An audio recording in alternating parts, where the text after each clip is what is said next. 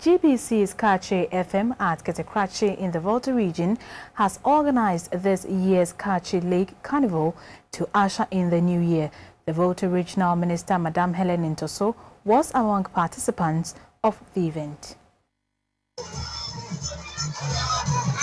The annual Kaakye Lake Carnival, organized on New Year's Day, is one of the entertainment programs promoted by GBC's Kaakye FM at Kete Krachi to entertain residents and tourists.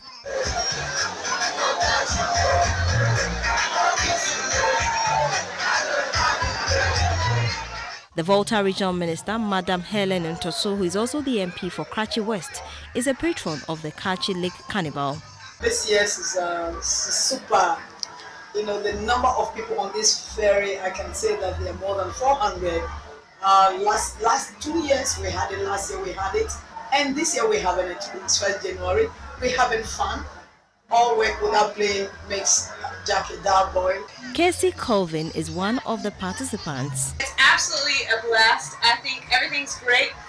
The Lake Carnival started in the Sene East district of the Bono Ahafo region, stopped over at Kete Krachi and landed at Opalama Island where the local people entertained participants with drumming and dancing.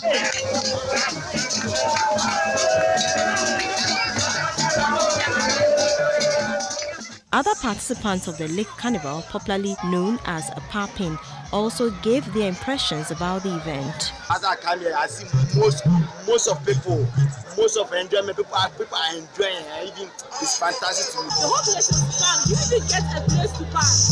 I really enjoyed it. Like it was fantastic. It was great.